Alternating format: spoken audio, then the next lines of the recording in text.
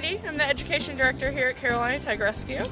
And today we're going to talk about the differences between big cats and small cats. So there are several different ways that you can classify big cats and small cats, and actually none of them have to do with size.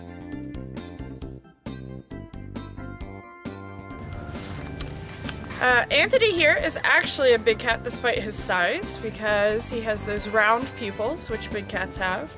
He eats lying down and he roars. Um, so we do know that tigers can get big and then you go down to your little small uh, uh, sand cats, but there are lots of differences uh, in between and again we don't classify them based on size, which makes things really confusing. Um, so when you look at a big cat like a tiger, which is the largest of all the cat species, there are several different things that make them big cats. One is, is they actually have round pupils. So they're, we're used to that uh, slit in a small cat's eyes, your house cat's eyes, they have that slit, whereas big cats actually have round pupils, more like ours.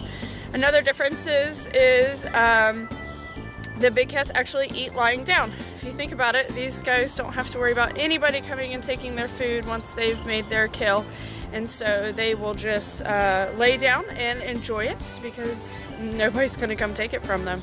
Whereas small cats will actually eat uh, sitting up and they have to be ready to run with that food or to run away from that food if a bigger predator comes along. The biggest reason why we classify big cats and small cats, or the way we classify them, is actually based on the sounds they make. So, big cats roar and small cats purr. And so what they have in the back of their throat is a hyoid bone. In the big cats, it's actually uh, flexible, so when they're blowing that air out, it makes that big roaring sound. And in small cats, it's stiff, so when they're blowing air in and out, uh, it makes a vibrating sound, which is what makes that purr. So small cats can purr on an inhale and an exhale, and big cats roar on the exhale. So that is the difference between big cats and small cats.